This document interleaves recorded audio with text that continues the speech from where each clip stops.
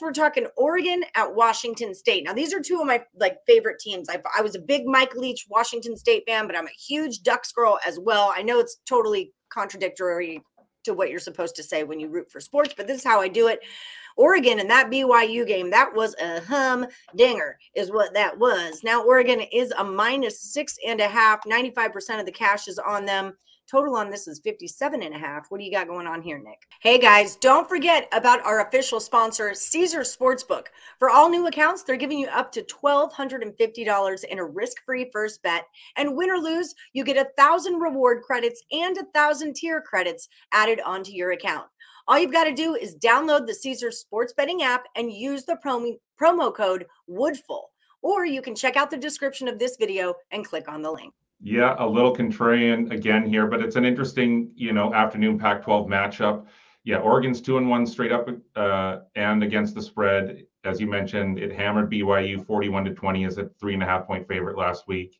And Washington State, it's 3 and 0 straight up, uh, but just two and one against the spread uh, for betters. That includes last week's 38 to 7 win over Colorado State. It was a 17 point favorite in that one.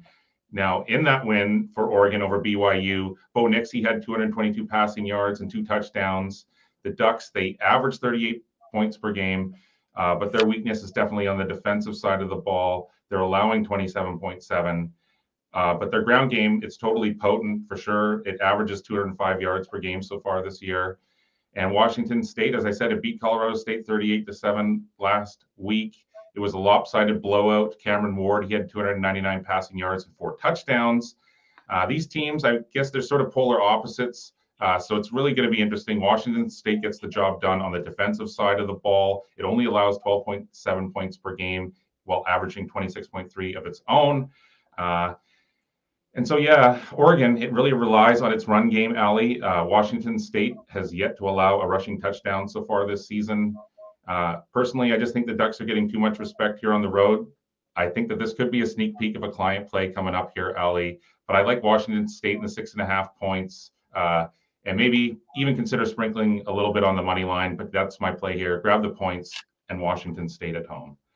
Yeah, it feels like a big letdown spot, you know, and that with 80% of the cash on Oregon, it just it doesn't seem like the line quite moved enough for me, but we'll wait to see what happens. I like where you're going with though. Just that BYU game was a lot and I could see them getting let down on the road here. Washington State, go Cougs, taking them plus the six and a half.